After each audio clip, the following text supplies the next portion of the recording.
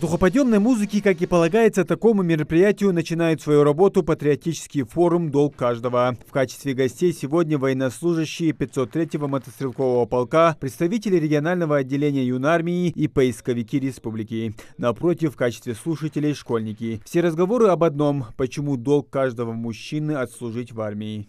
Родина всегда одна. Другой у нас родины нет. И на нашей родине должно быть все спокойно, хорошо, укрепим свой дух, подготовимся к тому, к чему зовет нас наша Родина.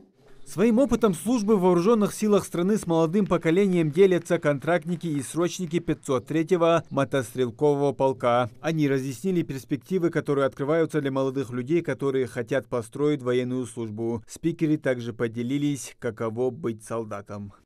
Поначалу было действительно тяжело привыкнуть к армейскому распорядку дня, то, что все по расписанию, строго по расписанию, по уставу, подъем, зарядка, занятия, приемы пищи и отбой, все строго по расписанию.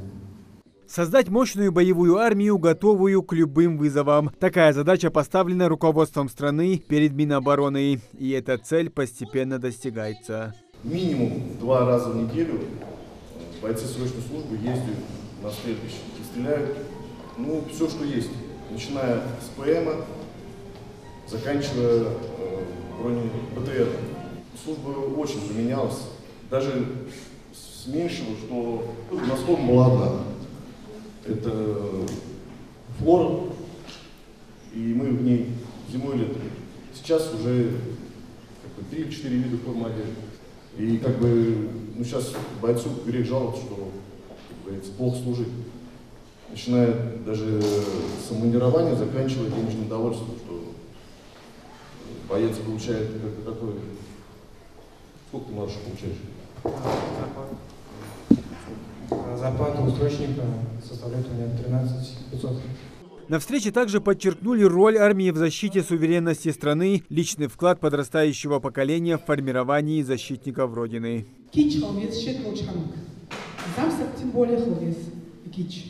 ранение были, щин помощь оказать, щи доктор помощь оказать.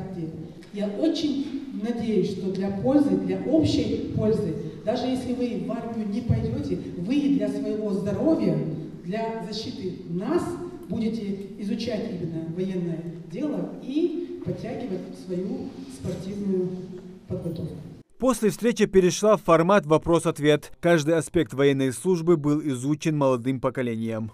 Мероприятие было очень интересным. А, наши гости рассказали о боевых действиях, отвечали на наши вопросы. А, также я хотела выразить слова благодарности нашим гостям за то, что они приехали, рассказали нам. Вот. И в общем я бы хотела сказать огромное Спасибо нашим защитникам Родины, потому что если бы их не было, не было бы мирного неба над головой. А, спасибо большое им за мужественность, храбрость. А, было очень интересно смотреть и слушать реальные истории из жизни реальных солдат, слушать а, и понимать, что, может быть, в будущем я или кто-то другой может связать свою жизнь с этим. По завершению форума школьникам дали возможность попробовать себя в разборке и сборке автомата Калашникова, подержать в руках и ознакомиться с принципом работы противопехотных гранат F1 и РГД, а также молодые люди попробовали себя в роли поисковика. Муслим Ганиев, Рамзан Зурабов, Новости 24.